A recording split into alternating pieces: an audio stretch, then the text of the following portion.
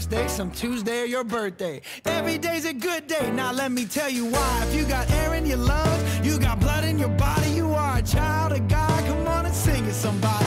On my best day, I'm a child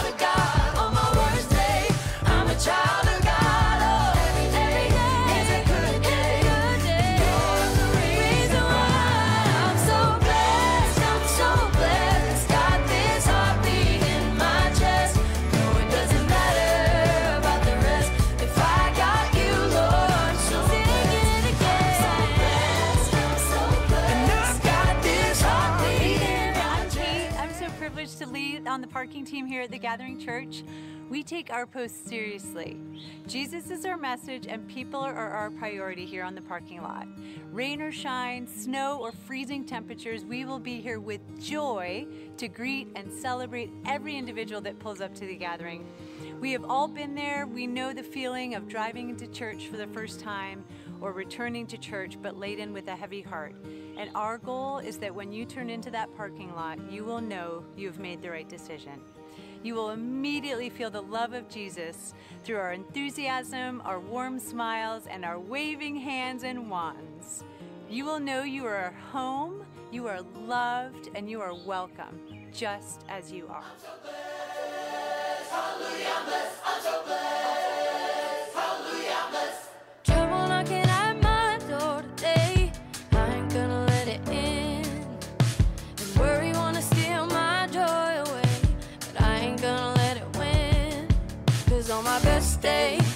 child of God. On my worst day,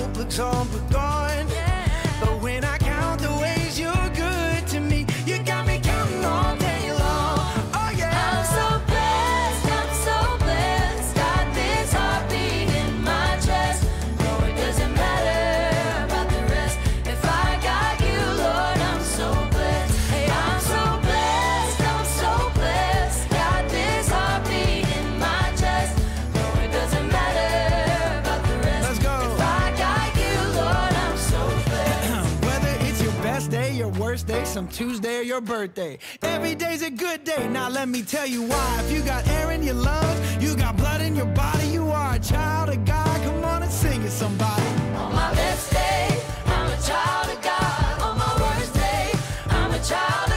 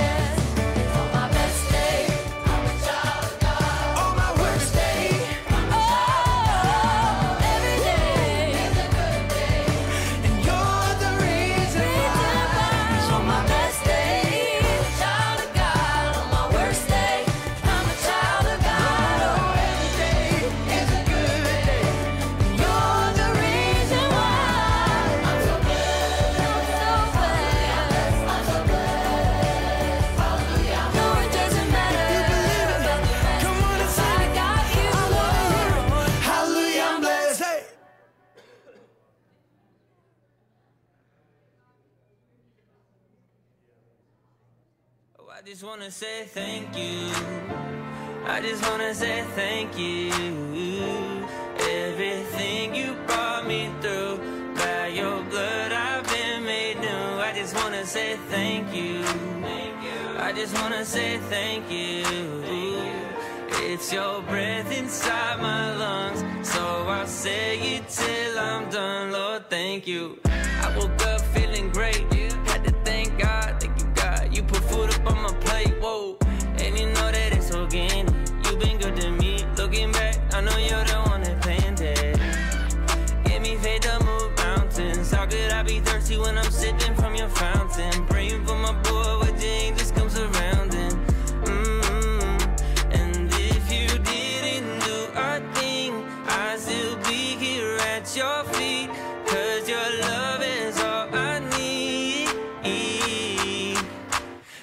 Wanna say thank you. I just wanna say thank you. Everything you brought me through, by your blood I've been made new. I just wanna say thank you. I just wanna say thank you. It's your breath inside my lungs, so I'll say it till I'm done. Lord, thank you. I'm so grateful for this life. Cause I know he be coming back twice, and that's faith over sight. Cause I don't need no eyes to realize that I'm covered in the light, yeah.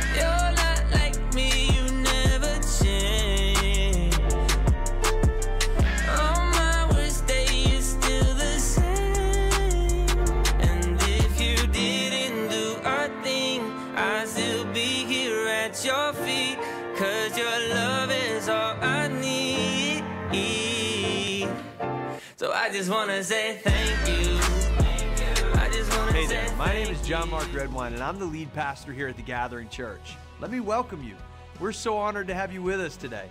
At the Gathering, one of our core values is family is our culture. I hope that somebody made you feel like family today. I hope that you felt welcome, wanted, and seen in this place. One of the things that we have on a sign outside is at the gathering, you can belong before you believe. That means that wherever you are in your faith journey, you have a place here. So engage with the worship today. Take some notes during the message. And let me encourage you to take the time to connect with someone today. Have a conversation. I think you'll be glad that you did. Enjoy the service, and I hope I get to connect with you soon. Well, good morning, everyone. Happy Easter. Welcome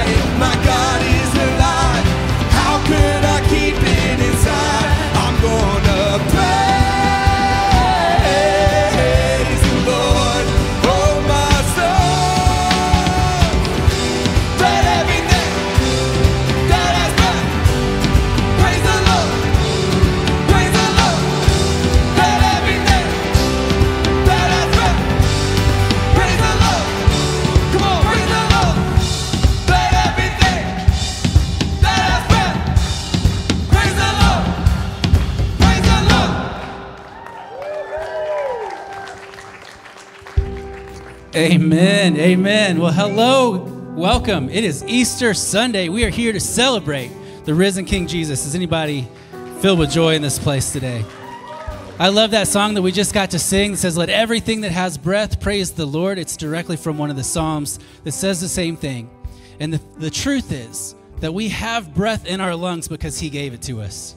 And we get to pour that breath back out in praise to Him. And I just want to invite you to continue to do that as we continue in our service today. Before we get back to the worship, though, there's a couple of quick things I want to share with you. Um, as you came in, you had the opportunity to grab one of our programs, and at the bottom of that is our Connect card. If you're new, uh, this is your first time with us, or if you haven't had a chance to connect with us yet, we would love for you to do that after the service. We'd love for you to take some time during the service, fill that out with some quick information, and afterwards you can take it to one of two places. Directly across the hall from the auditorium, you're going to find our connections team, and this team is awesome at helping you take your next steps here at the gathering. Whether that's getting involved in the dream team because we believe that serving is our calling, or it's getting connected into a small group because we know that life change happens in community, that team can help you take that step. We'd love to get to know you again if it's your first time with us. We've got something called the Welcome Party, so you can go out, take a left. You'll see a bright pink neon sign, and there you uh, have the opportunity to meet some of our pastors and staff. We would just like to say hi to you, um, connect with you a little bit. We actually have a gift for you to say thank you for being part of our community this weekend. We'd love to meet you there. We've got a couple of things coming up this week for everybody. If you want to get a little more connected into the life of the church here at the gathering, we've got something coming up this Wednesday night called First Wednesday. If you've ever been to that, it's just a great opportunity for us to hang out, get to know each other. We just spend some time together um, connecting in community. We'd love to invite you to that. It's this Wednesday, April 3rd, from 6 to 8 p.m. at Blue Ghost Brewing. We'd love to see you there.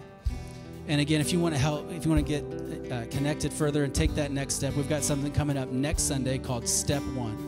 This is an opportunity for uh, you to get to know a little bit more about the history, the vision, and the values of the church, why we do the things that we do, and how we've come to what we like to call our brand of crazy, and how you can fit in that as well. It's directly following our 10:30 service next week, right here. Uh, there's lunch and childcare provided, so if you just need a quick afternoon date with your spouse and need somewhere to dump the kids, we got you. Come on up, come to step one. We'll feed you. It's going to be an awesome time. We'd love for you to come to that. Hey, like I said, just a few minutes, we're going to continue into our worship time, and I want to encourage you give it everything you got today. Man, we're here to celebrate who Jesus is and, and what he's done for us. But one of the ways that we worship is through our giving. We believe that generosity is a privilege because we serve a generous God who consistently blesses us with everything that we need and more. And it is our privilege to be able to respond in generosity in the same way. So if you'd like to partner with us financially in giving, you can do so in the ways behind me on the screen, or you can give in the boxes as you leave. And you got to know that each of those gifts go into life changing ministry here for this city. Man, we love this city, and we would invite you to partner with us as we seek to reach it for the kingdom. Man, like I said, we're going to continue in our worship together. And I want to encourage you today. I don't know what you came in here with. I don't know what drew you here today. I don't know what what what's on your heart or what you're carrying, but I know who does. The Lord does. And we have an opportunity today to bring that to Him, to lay it down. Psalms uh, 55 22 says, Cast your cares on Him, and He will sustain you. The righteous will never be shaken. We serve a God today that is never shaken, and He has allowed us to experience hope and experience freedom and experience life in His name. And we get to celebrate a risen Savior today. So I would invite you to do that. Give Him everything you have in this moment, this morning. Can I pray for you as we continue in the service? God, we love you. We come before you. We thank you for who you are. We thank you for the victory that you have over sin, over death, over everything that holds us back from you. God, you have the victory. You are powerful, God. You are worthy of our praise, and we give it to you in this time. God, I pray that everything we walked into here with, we would lay it down at your feet and recognize how much you love us and how you have called each of us to this place. God, would you pour out your presence on us this morning? We love you. We give you this time of worship. You're worthy of it all. We pray this in your name. Amen.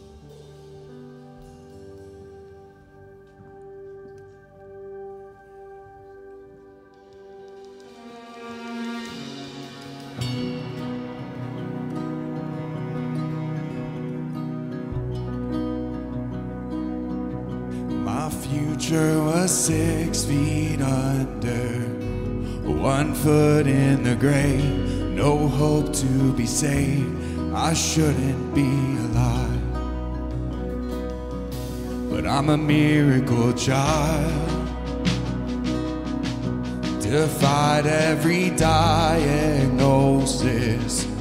And as close as it came, I can stand here and say, I'm a miracle child. Oh, death, where is your sting? My Savior's word is final. I am resurrected, blood protected. I am a miracle child. If facing the odds, if you think you're beyond no life he can't praise. Your wounds aren't too great. He's a miracle God. Yeah. Cause he shouldn't be alive. His body was six feet under. Three days in the grave, but that's no roll away. Yeah,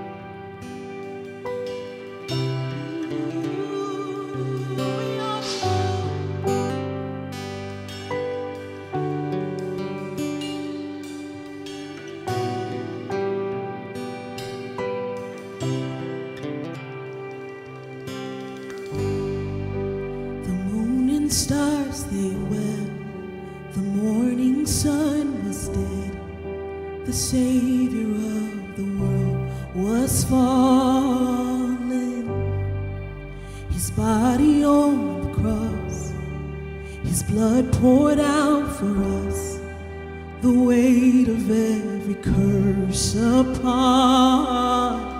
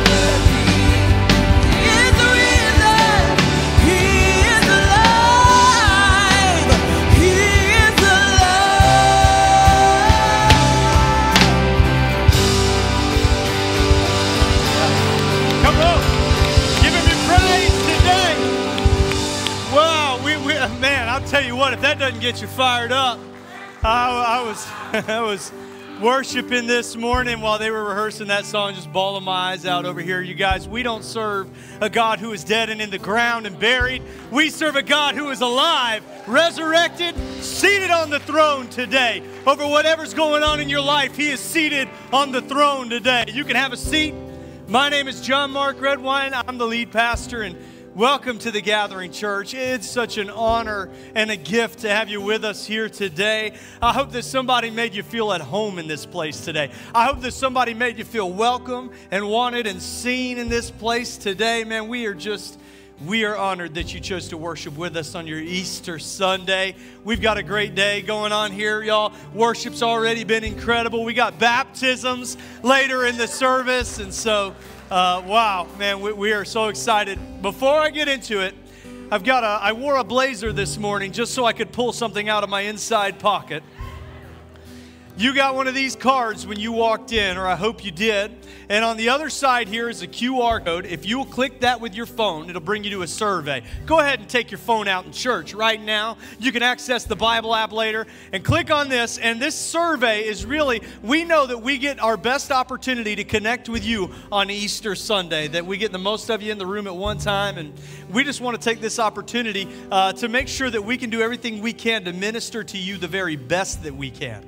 So this will update some of your information, uh, but really it gives you an opportunity to let us know how we can be praying for you, where you are on your spiritual journey, and what kind of things you like to hear about when you come to church, what kind of sermons interest you, uh, all that kind of stuff. And so uh, it would be such a gift to us if you would fill out this survey for us today. Uh, and uh, uh, you can do it. You got time right now. I'm about to do just promote the next series, so you're not going to miss anything. Uh, next week we begin a brand new series at the Gathering called Jesus. Don't you know? G- listen, what our first core value is that Jesus is our message, and for the next four weeks, Jesus is our message. Okay. Uh, our, our, our goal over this next we're, today we're going to start talking about Jesus and the life of Jesus and and uh, the passion of Jesus and what His death and resurrection mean for us, and we're going to carry that story on next week in this series where we study who Jesus really is and what, what, what he means to us and what his life meant and all that kind of stuff. I really think uh, if you've ever wondered about Jesus or maybe you've followed him for a long time but you want to get to know him better, this next few weeks are really going to be for you. You be blessed by it. And so come on back next week and join us as we kick off that series called Jesus, uh, and we're going to have a great time. Hey, let me pray for us and we'll get into it this morning. Heavenly Father, thank you so much for who you are, God. You are so good. We just honor and praise you with all of our praise today, God. You are the resurrected King. We thank you that your power knows no limitations, that you are sovereign over every circumstance, over every heart, over every person here today, God. We just lift up our arms and praise to you in Jesus' name. Amen. Amen. Amen. Amen. Easter Sunday at the Gathering Church. Man, what a gift to be here with you. Um, today's sermon is titled From Death to Life. From Death to Life. I want to talk about death and I want to talk about life a little bit today. The gospel message, the message of Jesus, has two crucial aspects to it there is death and there is life. And both are very important. And so I want to just explain for a second why both of those things matter so much to us, especially on an Easter Sunday. First, we'll start by talking about death. Most of us are aware of the natural order of things, that most of life, all of life, everything in existence moves from life to death. Death has been a part of the story for a very long time, and death was going to be a part of Jesus' story from the very beginning of his ministry. In Matthew chapter 16, we see a conversation that Jesus has with his disciples. This happens maybe a year before his crucifixion, so well in advance. In uh, Matthew chapter 16, verse 21, from that time on, Jesus began to explain to his disciples that he must go to Jerusalem and suffer many things at the hands of the elders and the chief priests and the teachers of the law, and that he must be killed and on the third day be raised to life. This always blows my mind. This is a verse in the Bible, okay? This is Matthew chapter 16, and this is happening a year before the crucifixion. And look at how plain the language is. It says that he explained to his disciples that they must go to Jerusalem and suffer many things and that he must be killed and resurrected on the third day. When you read Matthew chapter 16, it kind of gives me the impression that on Sunday morning of Easter, the disciples ought to have had some snacks sitting outside the tomb waiting to see what would happen. They're like day number three, I think. They're trying to figure the math out. These guys were fishermen, but, they, but they'd be waiting. But no, that's not really how it goes because we just don't expect life to come from death. Everything that we know is that only death comes from life. We go on in this, verse 22. Peter took him aside and began to rebuke him. Never, Lord, he said, this shall never happen to you. Jesus turned back and said to Peter, Get behind me, Satan. You're a stumbling block to me. You don't have in mind the concerns of God, but merely human concerns. He rebukes Peter harshly and says, You're only thinking about things the way that you understand things. You got to understand that God is bigger than you know.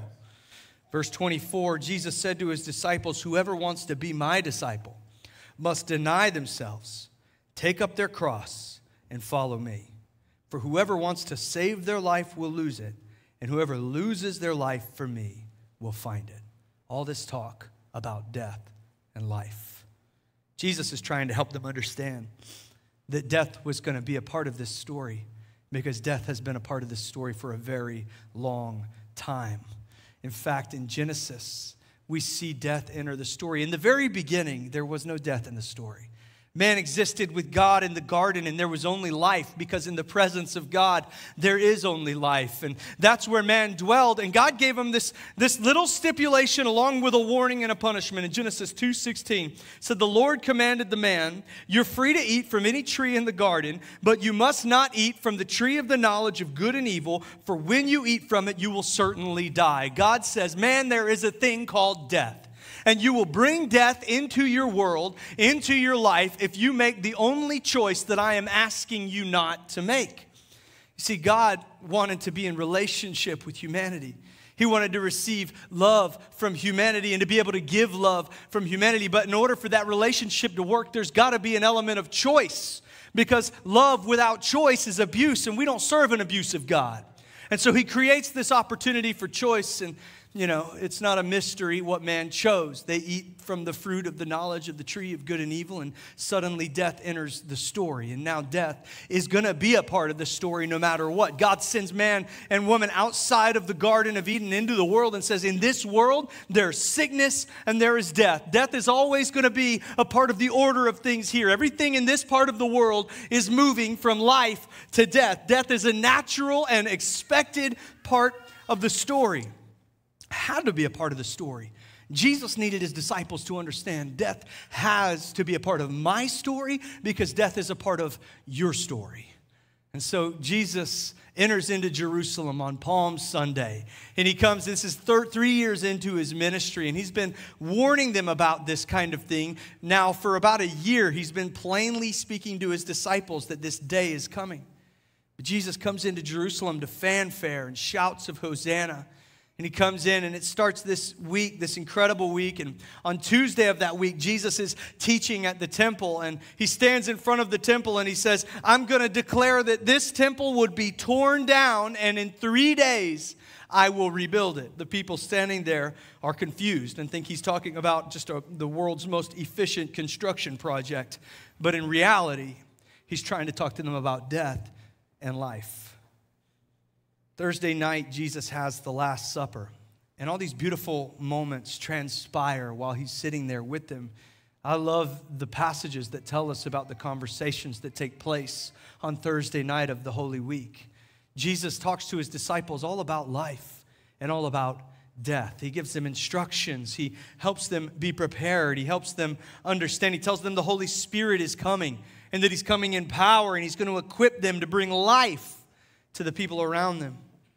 Jesus gets up from the table after dinner is over, and he and his followers they walk to the Garden of Gethsemane, which isn't far away.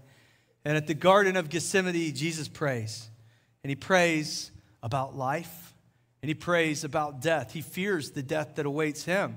In fact, the Bible tells us that he's absolutely shaken by his fear for it, that he's so stressed out, that he's bleeding, he's sweating blood, and that he's asking God, take this away from me, this, this death that's coming, if there's any other way. But not my will, but yours be done. And he prays over his death, and then he prays over life for those who would follow him, for his disciples, and for each one of us.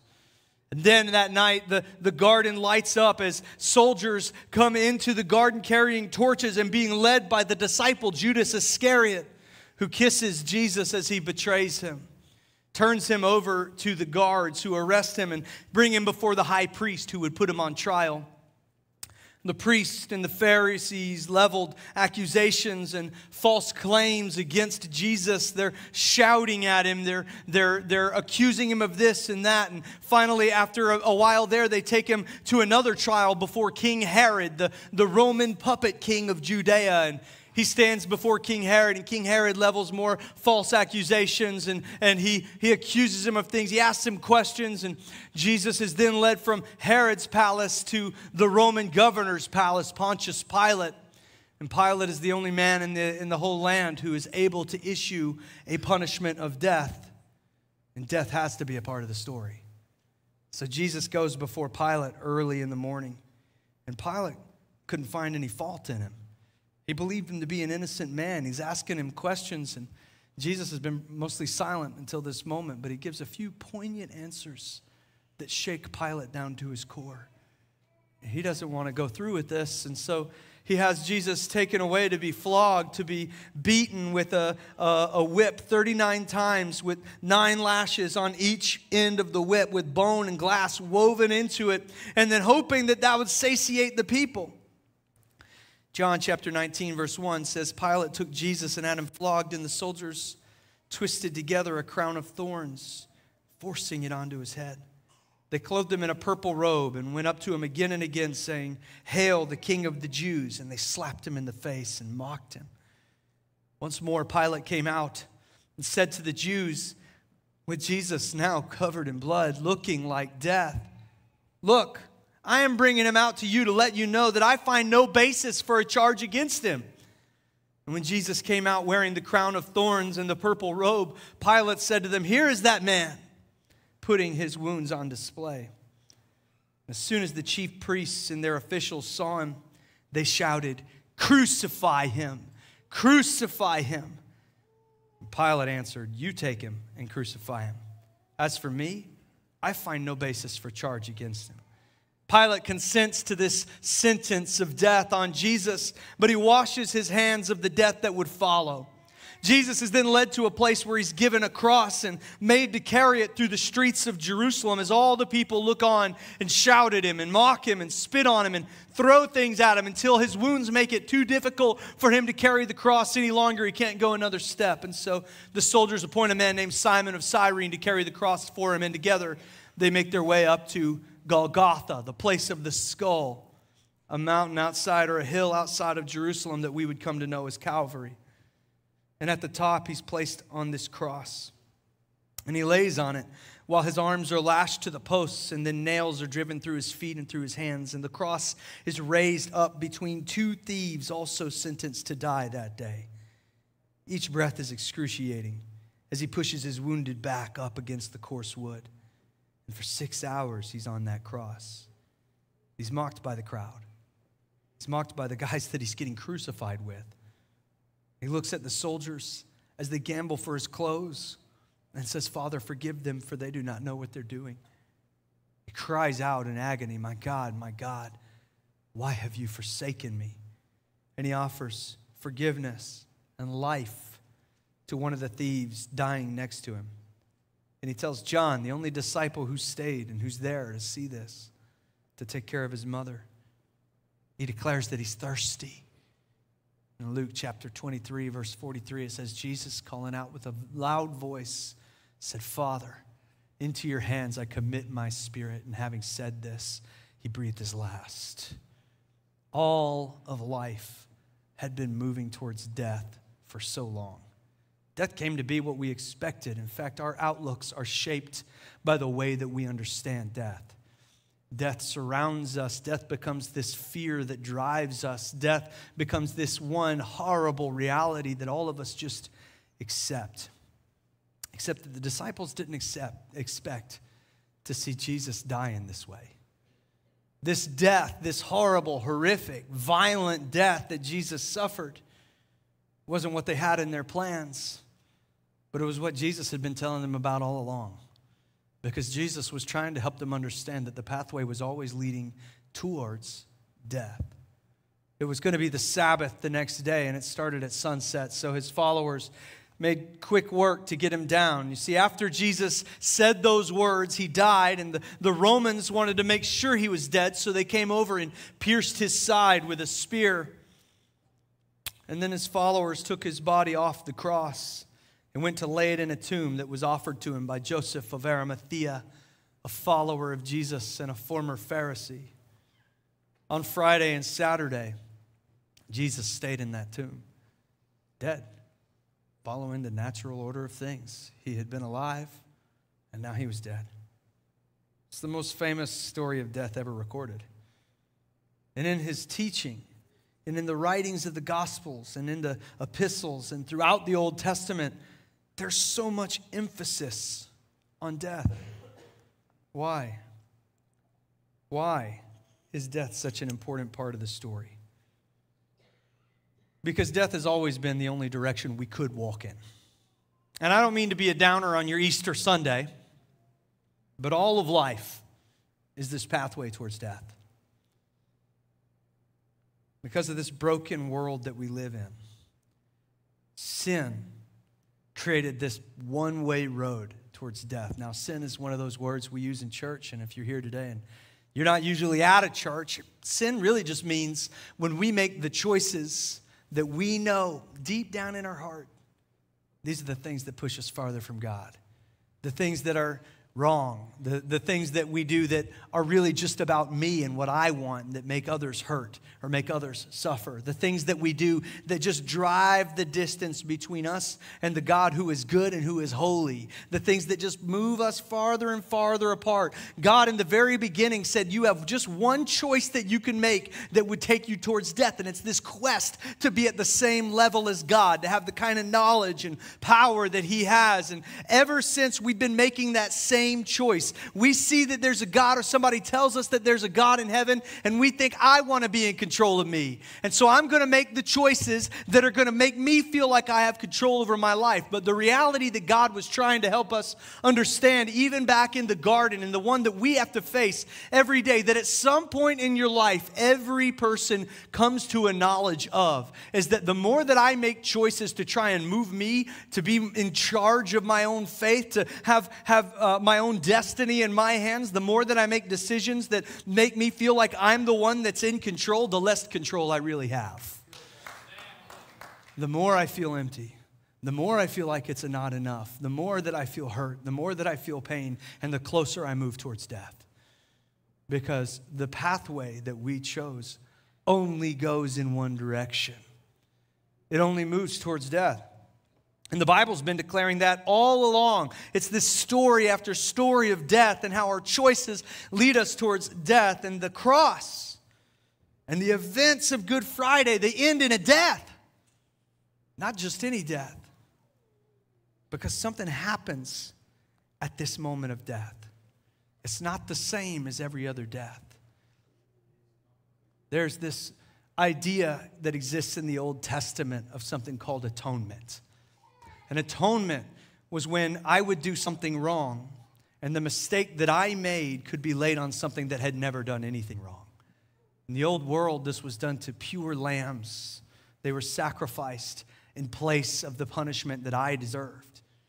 And what the scriptures help us understand is that Jesus never sinned. He never made a mistake. He never did anything that should move him towards death. When he went to that cross, he became this atoning sacrifice for you and I so that when he died, death was satisfied for the first time in all of humanity. It tells us in the Gospels that at the moment that he gives up his spirit, this six foot thick curtain that separates the presence of God from the people of God and the temple of God was split from top to bottom. It tells us that people, that tombs opened up and people walked out of them and began to walk around because for the first time since Genesis chapter 3, death didn't have any rules to follow anymore. Things didn't make sense anymore because this death was so different than the death that had come before it. Jesus went into that tomb, though, and the disciples didn't understand that. They didn't know that. They just thought that hope went with him. They really believed that things were going to be different, that Jesus was going to change things. But just like that, he was dead. I mean, they saw him dead. His disciples scattered that night. Judas Iscariot, the one who betrayed Jesus, he hung himself in a field, and the other 11 ended up in the upper room that they had been staying in, hiding, scared, really uncertain about what would happen next. What do they do now? This whole movement that they believed would be about life had now just ended in death, and so where should they go? What should they do? And they wait and they go through the Sabbath while they're there. And then Sunday morning, Mary Magdalene and some of the other women went to the tomb to complete the embalming process now that they could. When they got there, this stone that had been sealed and guarded, it was rolled away and the tomb was empty. They couldn't believe it because all of life just moves in one direction towards death. The consequences of death are irreversible. Only Jesus had ever been able to change that, and now he was dead. But they stood at the tomb and they looked inside, and he wasn't there. And sitting there instead, and honestly, probably pretty smug about the whole thing, was an angel of the Lord. And the angel said to the women, Do not be afraid, for I know that you're looking for Jesus who was crucified. He's not here, he's risen, just as he said. Come and see the place where he lay. And then go quickly and tell his disciples he's risen from the dead and is going ahead of you into Galilee, and there you will see him. And now I have told you. So the women hurried away from the tomb, afraid, yet filled with joy. It says in John's Gospel, chapter 20, verse 11 Mary stood outside the tomb crying, Magdalene. And as she wept, she bent over to look into the tomb and saw two angels in white seated where Jesus' body had been, one at the head and the other at the foot. And they asked her, Woman, why are you crying? They have taken my Lord away, she said, and I don't know where they have put him. And at this, she turned around and saw Jesus standing there. She didn't realize that it was Jesus because why would she? Most of the time, all death ends in death. But here he was alive. And he asked her, Woman, why are you crying? Who is it that you're looking for? And thinking he was the gardener, she said, Sir, if you've carried him away, tell me where you've put him, and I will get him. And Jesus said to her, Mary. And she turned towards him and cried out in Aramaic, Rabboni, which means teacher. And in this place where there had been death, now there was life. And because of this moment, everything is different. Because until this day, death always came from life. But now, because of this moment, because of this empty tomb, because of what we celebrate on Easter Sunday, life can come from death. Jesus said in his ministry that he is the way and the truth and the life. No one comes to the Father but through me. Jesus said that he came that we might have life and have it in abundance. He was trying to explain all along that death was going to come in this story, but that this was a new death, a temporary death, a death that would defeat death once and for all, a death that would make way for true life to come back into the story. And this life that we celebrate on Easter, this life that we long for, that every person on this earth is desperate to find, the kind of life that makes you feel satisfied, the kind of life that until you've experienced it, you can't really explain it or even understand it. This life that you were born to live in, well, it can only come from death. It says in Romans chapter 6, verse 23 For the wages of sin is death. Because of our sin, there's only one road for us to walk death. But the gift of God, the free gift of God, is eternal life in Jesus Christ our Lord. So we get to move from death to life. And so, for you and me, what kind of death? Because life now springs from death. Life is what we have to look forward to on the other side of death. But for you and I, what kind of death leads to life? Well, first, it's death to sin. Death to sin. Peter wrote about this idea, 1 Peter chapter 2, verse 22. He committed no sin, neither was deceit found in his mouth. When he was reviled, he did not revile in return. When he suffered, he did not threaten, but continued entrusting himself to him who judges justly. He, he himself bore our sin in his body on the tree, the cross, that we might die to sin and live to righteousness. And by his wounds, you have been healed.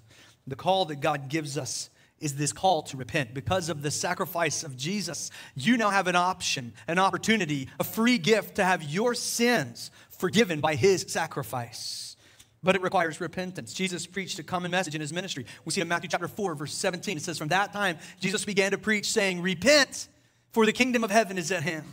Repent. Repent is a, is a word that just means to turn back. I was going in one direction and I change and I go in the other direction. The gospel message that Easter declares is that Jesus died on the cross so that we wouldn't have to keep moving towards sin and living in sin and choosing sin. Rather, because he has given us access to forgiveness of sin and grace for our sins, and because his Holy Spirit makes it possible for us to be free from our sin, we join him in death and see our sins die on the cross as well.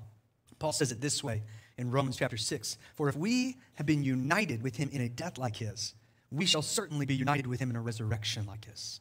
We know that our old self was crucified with him in order that the body of sin might be brought to nothing, so that we would no longer be enslaved to sin. For one who has died has been set free from sin. Now, if we have died with Christ, we believe that we also live with him. We know that Christ, being raised from the dead, would never die again. Death no longer has any dominion over him. For the death he died, he died to sin once for all, but the life that he lives, he lives to God.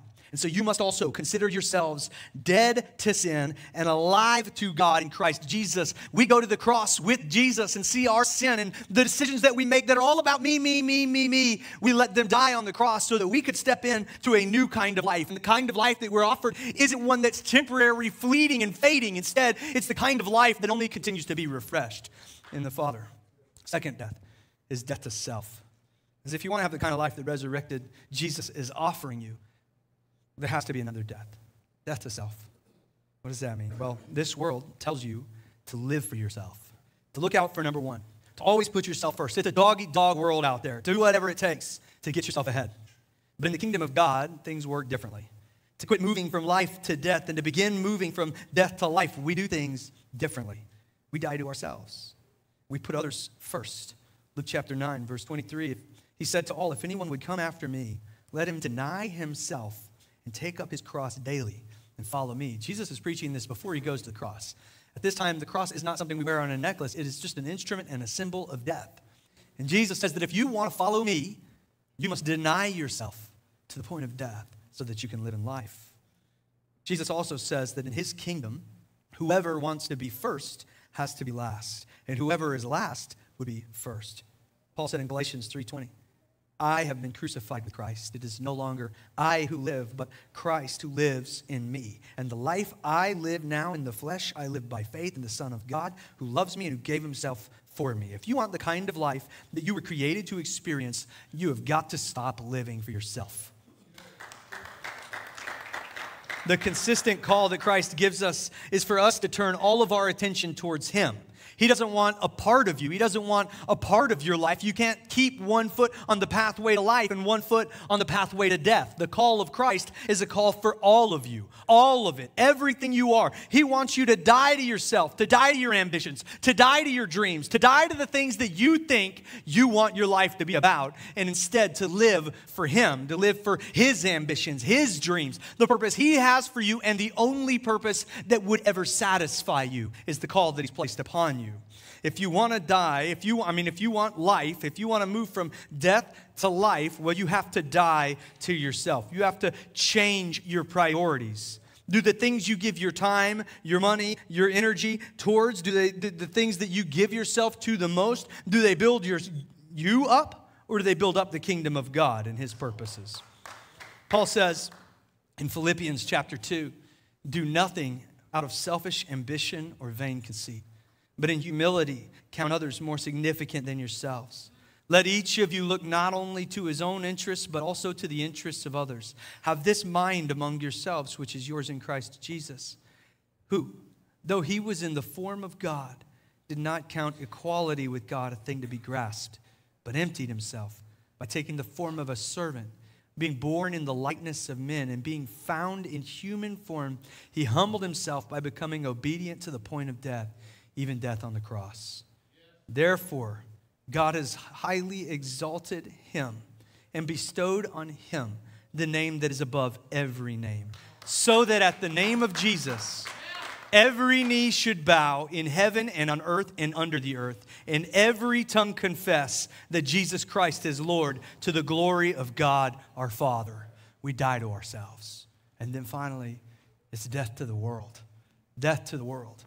We were in a series just last week called Binge the Bible, season two. We're going through the Bible at kind of a 30,000 foot view, looking at the story of Scripture. And we just finished reading through all these stories in the Old Testament that tell us about how all of humanity, really in the story since the garden until now, has tried to do this balancing act where we keep one foot in the world and one foot in the kingdom of God. Well, I want the things that the world tells me that I should want. I want fame, I want riches, I want power, I want position, I want people to love me. I want all of these things.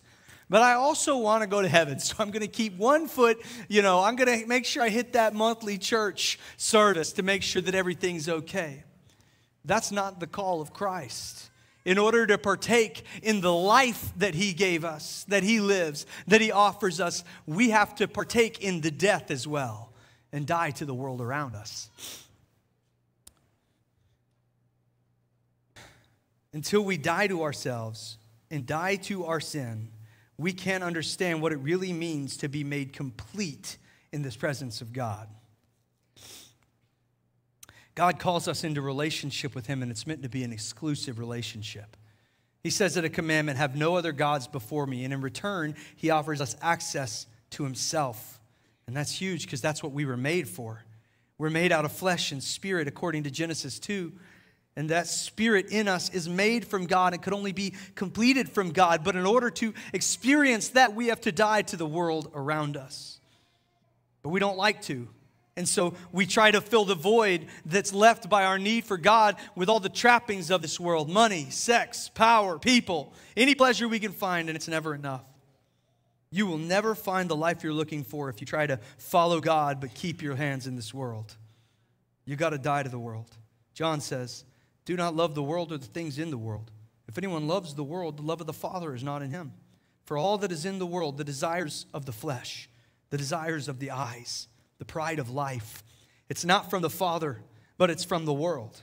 And the world is passing away because all of the world only moves from life to death, along with its desires. But whoever does the will of God abides forever, because only God can move you from death to life. Jesus says, My kingdom is not of this world. And so we die to the trappings of this world. And when we do that, and when we've done that, then we can fulfill the promise of Easter. Then we can know what it means to move from death to life. We can defy the pattern of life. The rest of the world follows and move from death to life. Ephesians chapter 2 says, As for you, you were dead in your transgressions and your sins in which you used to live when you followed the ways of this world and the ruler of the kingdom of the air, the spirit who is now at work in those who are disobedient. All of us also lived among them at one time, gratifying the cravings of our flesh, following its desires and thoughts, and like the rest, we were by nature deserving of wrath.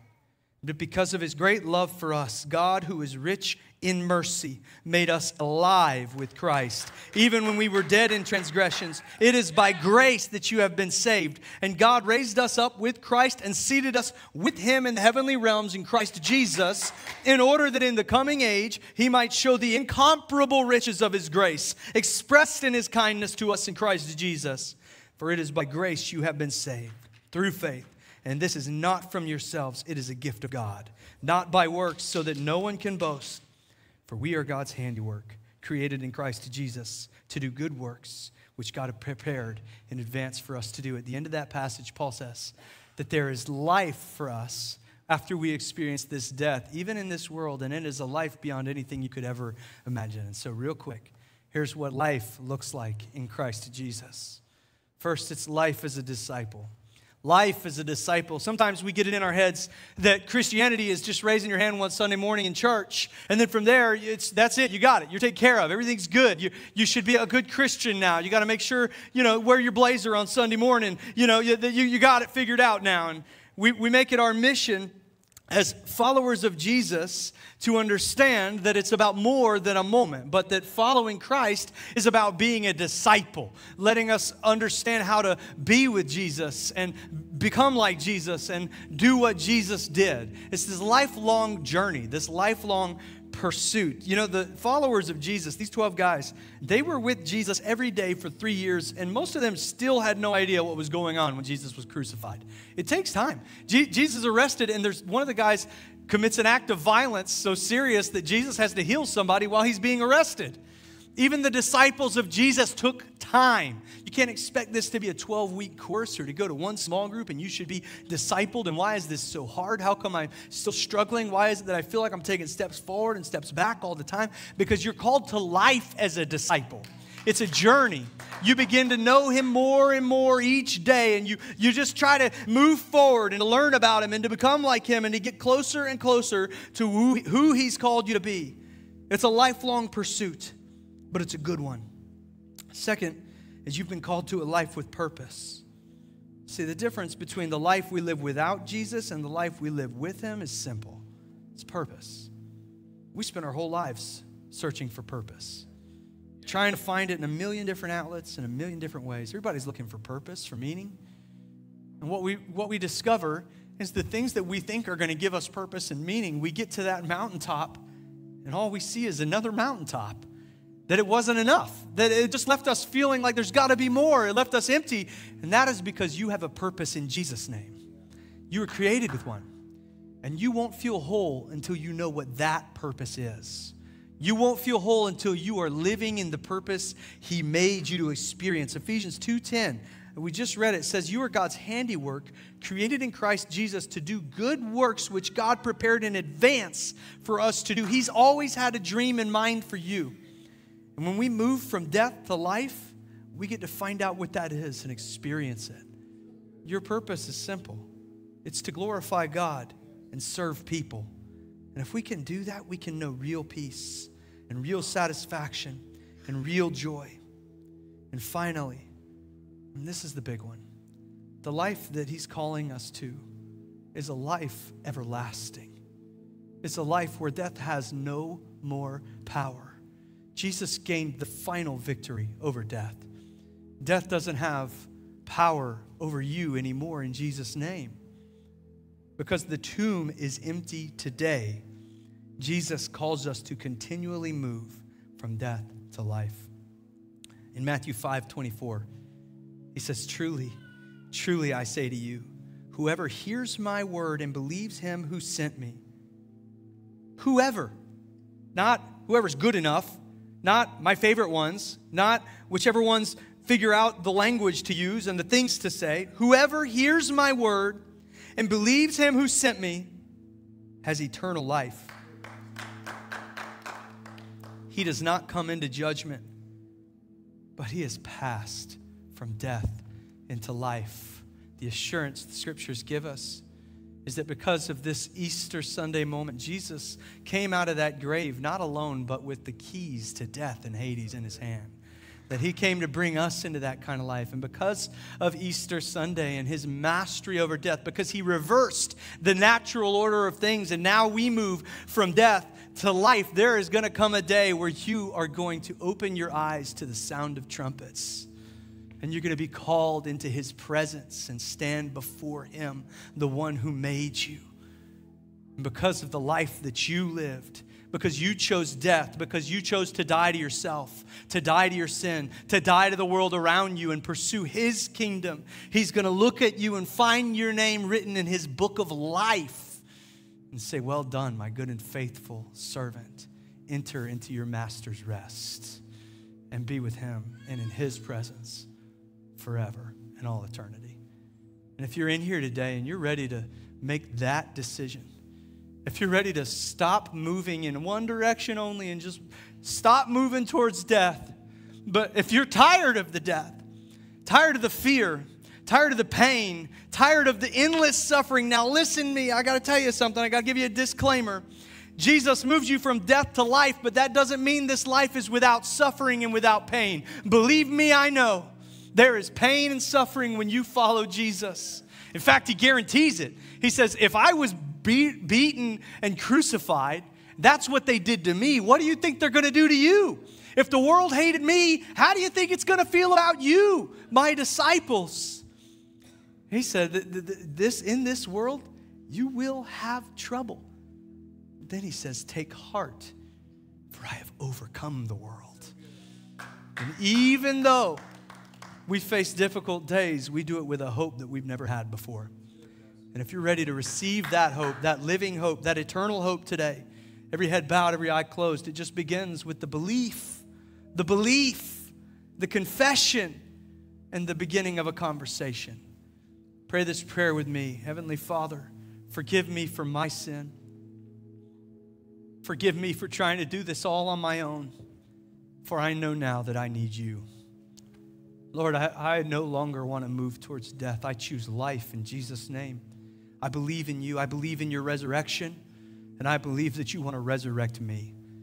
All that I am, from this day forward, I am yours.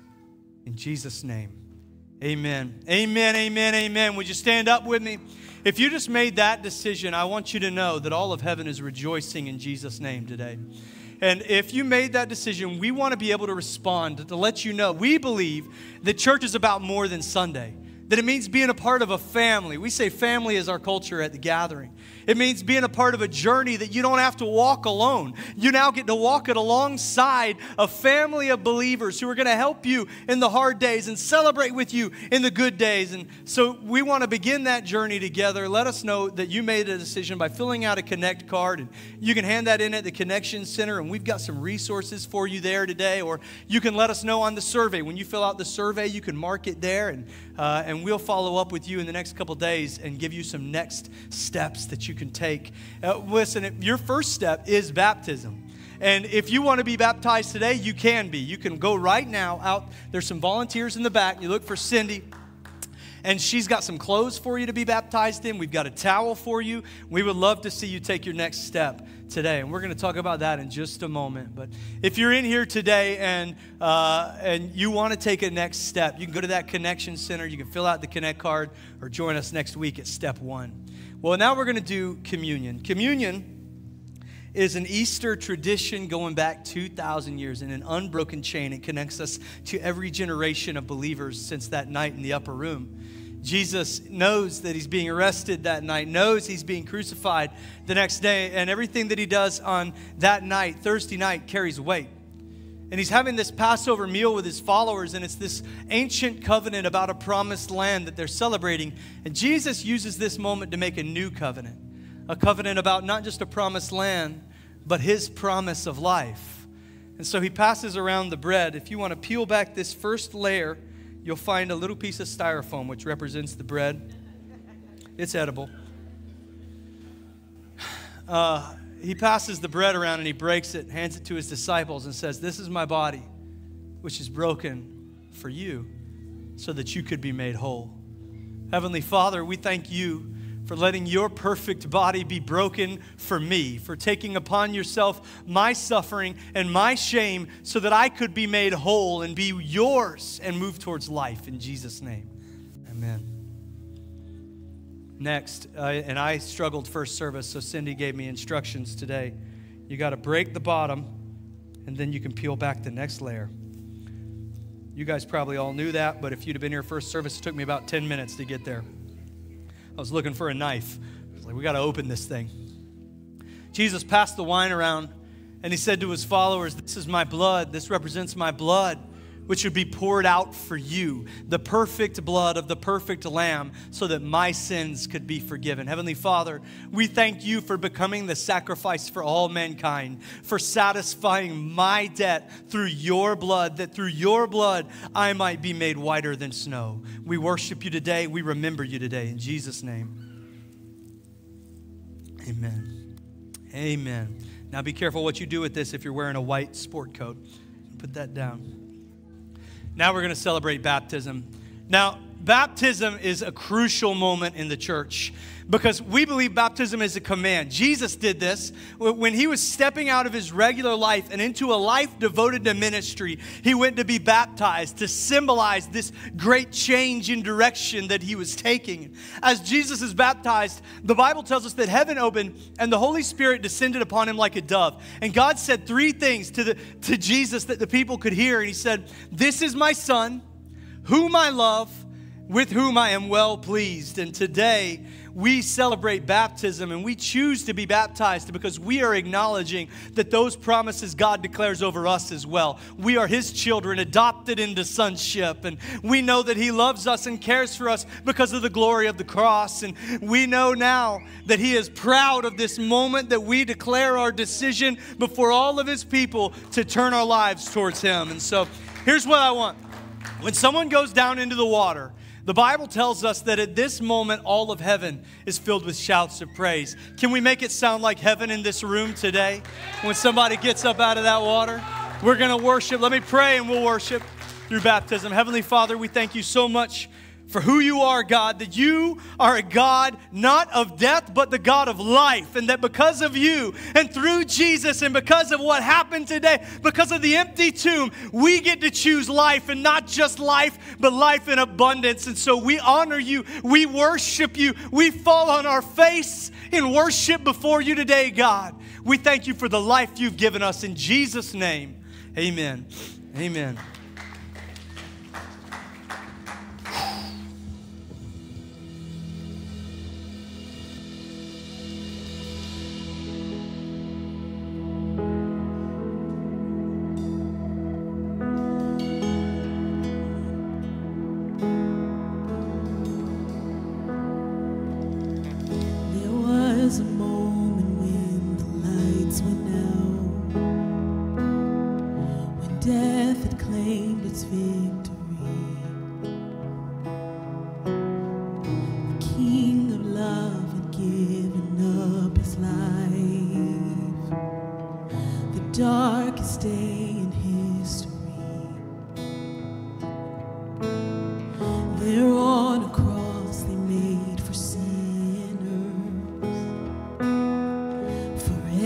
Curse his blood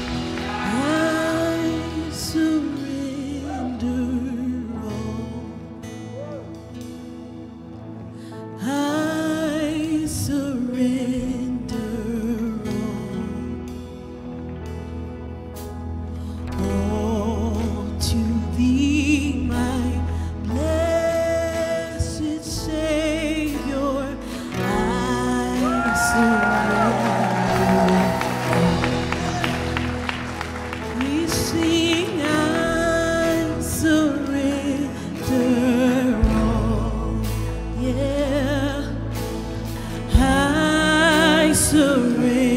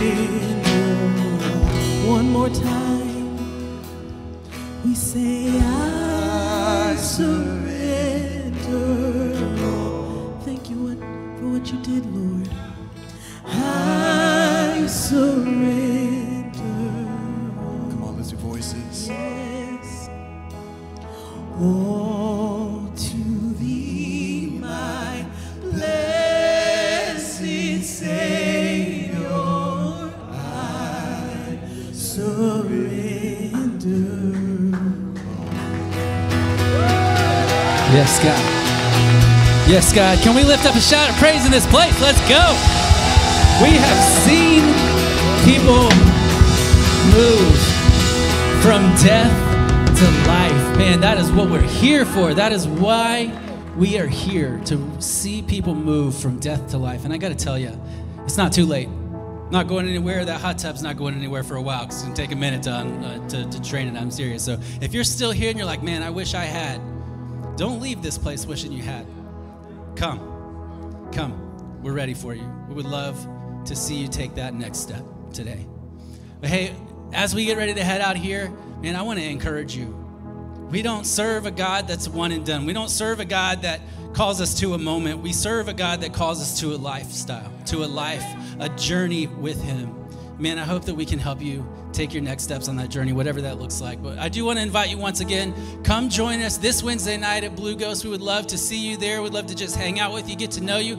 And if you want to take a next step here at the Gathering Church, make sure you show up for step one next week. Don't forget, it's going to be awesome. Don't miss it. Man, we want to help you understand that culture that Pastor John Mark talked about. Family is our culture. And we know that you can find family here. There's a place for you. Man, I love you guys. I love worshiping with you. Have a great week and have a great Easter. We'll see you next time.